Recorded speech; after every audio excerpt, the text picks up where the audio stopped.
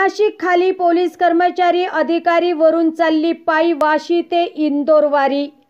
नाशिक द्वारका या ठिकाणी विविध भागात गोरगरीब लोकांसाठी काही संस्था रस्त्यावर उतरल्या आहेत. पण जे पायी मुंबईवरून इंदोर यूपी धुळे नगर अशा विविध ठिकाणावरील लोक नाशिक ब्रिजवरून पायी आपल्या गावी जात आहे. मुंबईमध्ये कोरोनाचे रुग्ण जास्त आढळले आहेत. त्याच मुंबईवरून पायी चालत सात ते आठ जणांचे टोळके नाशिकवरून आपल्या गावाकडे मार्गस्थ होत आहे. यामध्ये एखादा व्यक्ती कोरोना बाधित असू शकतो का?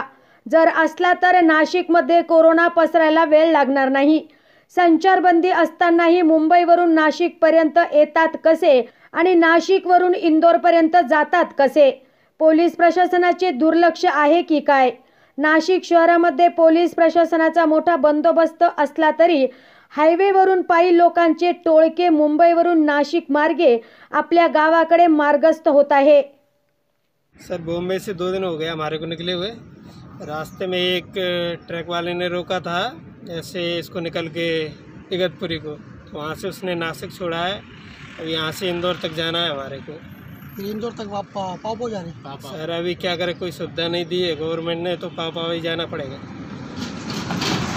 इसे कहाँ से निकले थे आप? बॉम्बे बासी से निकले हुए हैं। कब निकले थे? दो दिन हो गए अपने को। कितने जने आपके साथ? अभी छः सात जन हैं और एक दिन और पीछे आ रहा है मेरा भाई। तो आप यहाँ अभी यहाँ से इंदौर तक पैदल जाएँगे क्या?